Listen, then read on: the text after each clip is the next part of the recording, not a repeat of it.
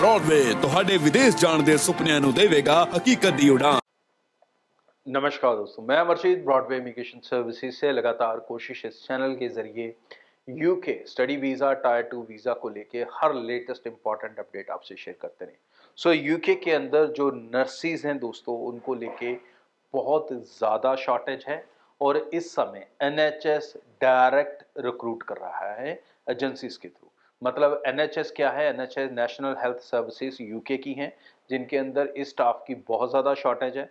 तो उनकी बहुत सारी एजेंसीज जो हैं इंटरनेशनल लोगों को रिक्रूट कर रही हैं एनएचएस में काम करने के लिए केयर वर्क में भी और डायरेक्ट नर्सिंग में भी। तो सबसे पहली रिक्वायरमेंट इनकी क्या है कि आप नर्स होने चाहिए।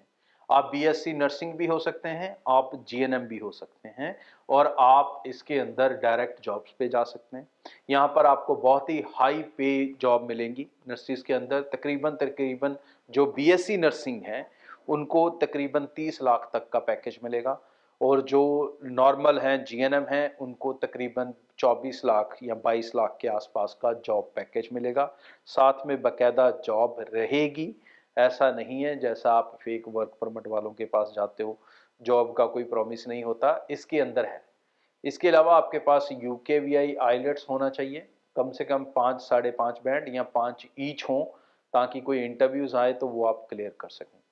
जिन्होंने बीएससी नर्सिंग की है, उन्हें बड़ा बेनिफिट होगा लॉन्ग टर्म में, क्योंकि वो वहाँ पर जाकर अपने कुछ एग्ज़ाम्स क्लियर करने के बाद rather than working in care work वो सीधा नर्सिंग में काम कर सकेंगे, लेकिन उसके लिए उनको लोकल एग्ज़ाम वहाँ पर क्लियर करने पड़ेंगे अपनी जॉब के साथ साथ तो ये बेनिफिट्स जो है नर्सिस ले सकती हैं।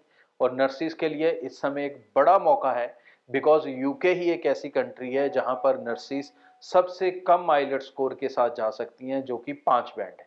बाकी किसी भी कंट्री में जब नर्सिस को जाना होता है, उनकी प्रॉब्लम यही होती है कि उनको आईलेट स्कोर बड़ा चाहिए होता है। बट यहाँ पर आपको बड़ा आईलेट स्कोर नहीं चाहिए। सो निश्चित बेफिक्र होकर अप्लाई करें और जितनी जल्दी हो सकता है अपनी एप्लीकेशन को शुरू कर लें। स्पाउस वाले केसेस ज़रूरी है एक अप्रैल से पहले पहले एम्बेसी में जाने चाहिए उससे लेट जाएंगे तो वो स्पाउस नहीं जा पाएंगे बट नर्सिस अपना करियर बनाने के लिए लगातार जा सकती हैं आज के लिए इतना थैंक यू ਬ੍ਰੌਡਵੇ ਤੁਹਾਡੇ ਵਿਦੇਸ਼ ਜਾਣ ਦੇ ਸੁਪਨਿਆਂ ਨੂੰ ਦੇਵੇਗਾ ਹਕੀਕਤ ਦੀ ਉਡਾਨ